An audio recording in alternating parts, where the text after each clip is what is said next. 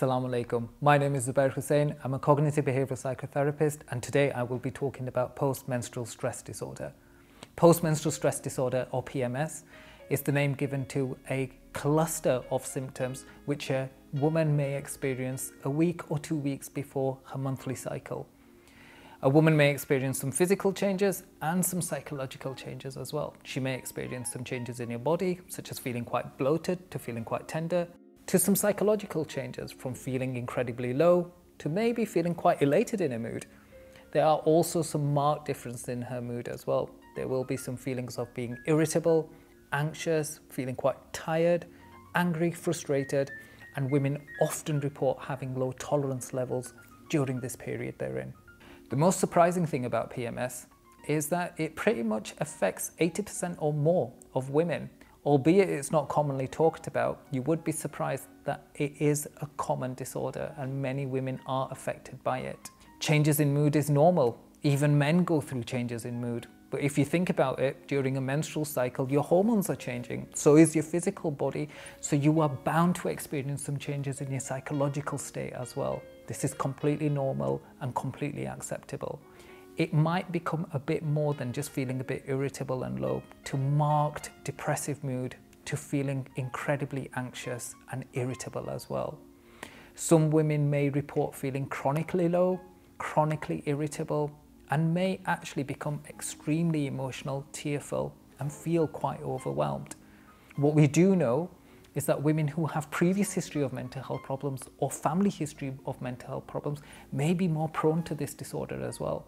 The reason for this is they may not realize or recognize the changes their body's going through. There might be a lot of societal pressures on them, a lot of pressure from school, colleges, studying, family, along with all those pressures and responsibilities they're balancing. These girls and women are also balancing the changes that are going on in their body.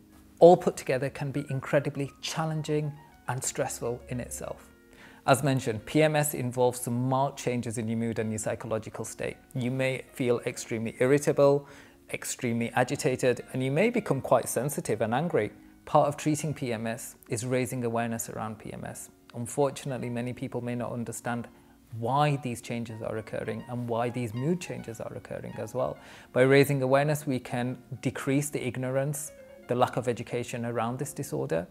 We can increase the sensitivity for this problem. And hopefully, women can access more support when they are feeling quite down, vulnerable, or overwhelmed.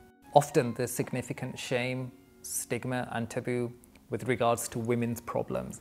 And therefore, women are reluctant to come forward and talk to either a professional, their family member about the difficulties that they are experiencing. It goes without saying, unfortunately, there are cultural implications and cultural restraints these are some of the reasons why women are reluctant to come forward and talk about their difficulties. You would be surprised that many professionals are trained and are aware of the difficulties that they experience. And it is advisable that if it does become unbearable, or if you are being extremely impacted by these monthly changes, to seek advice from a professional. There's no harm, there's no shame in this. You'd be surprised. There's psychological treatment and also medical treatment available for this. Unfortunately, PMS is often dismissed as being a bit moody, having your monthly mood swings, and therefore there's no validation around this condition or this problem. It's one of the beauties of Islam that Islam has assigned many rights to women, and it, therefore it is important that we go back to these principles and think about the rights of their mental and physical health as well, and make sure there is awareness that these rights are addressed so that their mental and physical needs are met I would urge all women to consider the importance of addressing and looking after their physical and psychological health, especially during these vulnerable monthly periods.